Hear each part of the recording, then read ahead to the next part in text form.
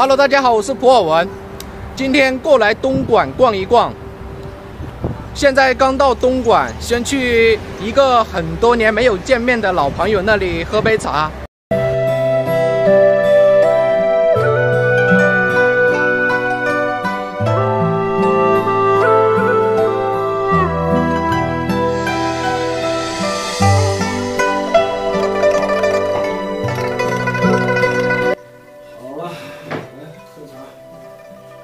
哇，以前的我们的生肖饼还有，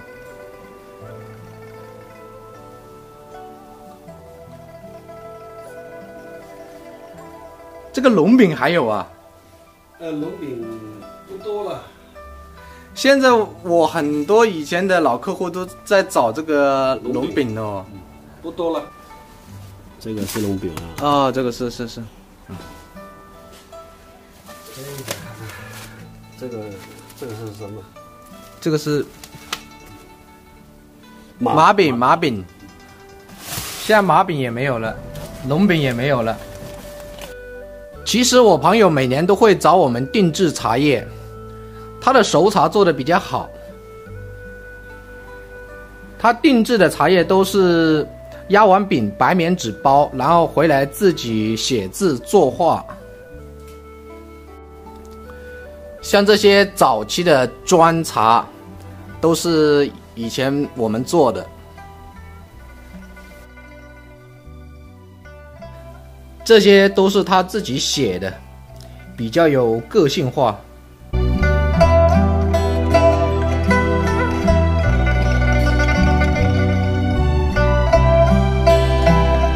这些大茶缸也是我朋友买回来自己包的。像这些字都是他自己写的。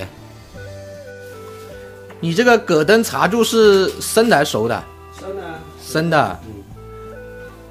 葛登的纯料吗？纯料。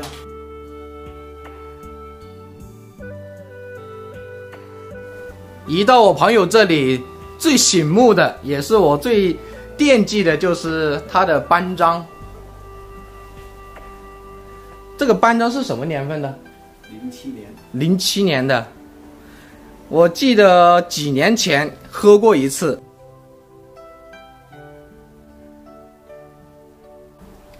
真正的零七年的纯料班章，你是不是也好久没喝了？啊，零七年的时候，一千六一公斤的老班章古树啊。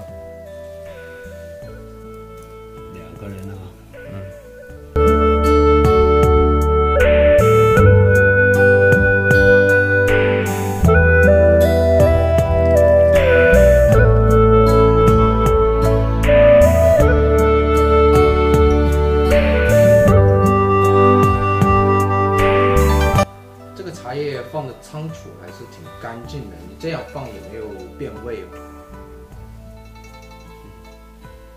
这个零七年的老班章，散料存放，可能香气没有饼茶那么香了，但是它这个放的还算是比较干净，也没有受潮啊之类的。茶汤入口比较甜。没有老班章新茶那么霸气的口感了。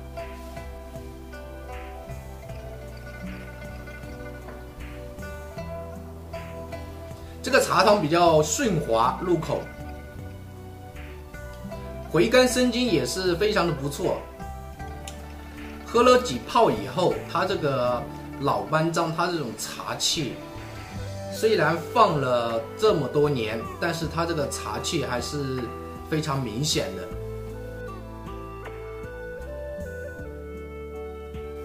我们两个人喝投茶量不是很大，六克，但是也是算是非常的耐泡了，应该有十五六泡以上了。